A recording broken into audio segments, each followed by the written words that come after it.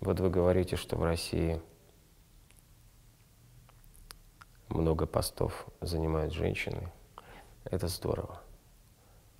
Но, на мой взгляд, очень много э, людей э, в Госдуме из спорта.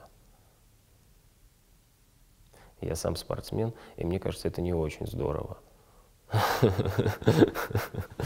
Э, пусть будет лучше больше женщин. Женщина все-таки мать, э, хозяйка, хранительница очага. Но вряд ли те женщины, которые в Госдуме занимают министерские посты, они уже совмещают то, о чем я сейчас сказал раньше. Тут либо ты политик, либо ты действительно мать, жена, дочь, сестра.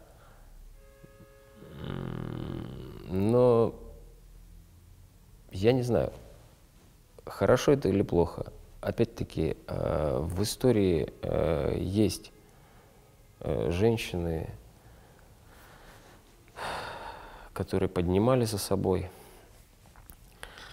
огромные массы. Но есть также и женщины, которые были просто исчадия адом. Ну, давайте вспомним опять-таки госпожу Скрынник. Женщина, замечательная женщина.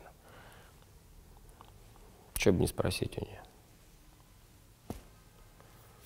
Что ж ты так родину не любишь?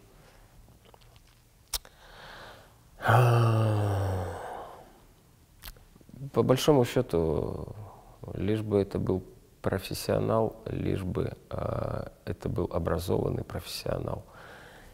И самый первый пункт – патриотизм – и очень, э, на мой взгляд, правильно было недавно принято решение, что тот чиновник, у которого есть э, недвижимость, э, счета за границей, он не имеет морального права, просто прежде всего.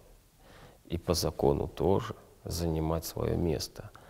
Ты автоматически будешь предателем. Или есть уже именно этим словом называешься.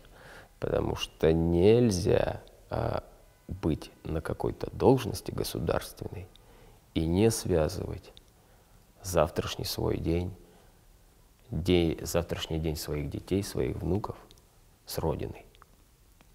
Автоматически ты предатель, если у тебя есть недвижимость и счета за границей. И это справедливо.